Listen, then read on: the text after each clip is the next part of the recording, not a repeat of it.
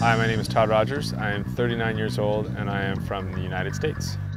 Growing up in Santa Barbara, California, uh, there are some beautiful beaches. I started playing, I was 14 years old my freshman year in high school, and that was indoors. And then the coach of the team was an old beach guy.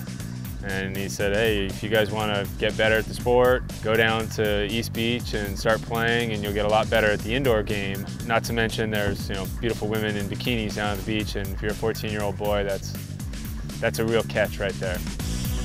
I think what keeps most players motivated, and certainly myself, is it's a fun, fun game to play. I think in a lot of other sports, maybe you don't have as much of a social context as you do in beach volleyball, and it's definitely a lifestyle.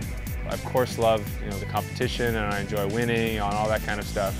But I think the number one thing is just, just pure enjoyment. That's certainly an honor um, to be you know, named a FIVB hero.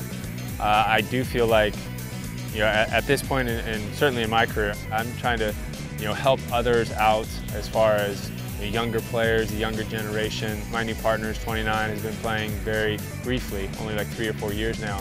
Uh, so I'm trying to help him to become a better player and be able to be uh, successful here at the international stage and you know, hopefully have success on the FIVB Tour and then on into the you know, Olympics and whatnot and have a great career.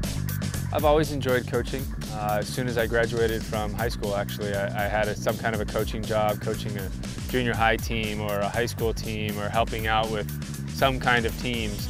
Uh, so for me, that's just always been a kind of a natural. I do enjoy imparting the knowledge that I've gained over the years uh, to the younger generation, whether that's an eight-year-old, a 12-year-old, a 20-year-old. I enjoy doing that and teaching them and watching them learn and grow as people. Without question, the number one thing that I've achieved in the, in the sport of beach volleyball is winning a gold medal in, in 2008 in Beijing. Uh, I think that's a, certainly the pinnacle of the sport. It's a once every four years opportunity, and I mean, in beach volleyball, we've only had five of them uh, since 96, so there's not too many people that can claim to be a beach volleyball gold medalist.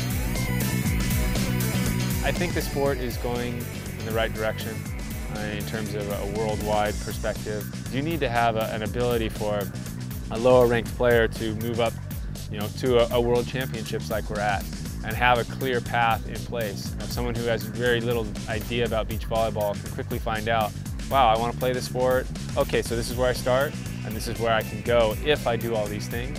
I think that process is starting to be implemented. And hopefully, five, ten years down the road, I can look back and see that I was a little piece of that and um, that it's been successful.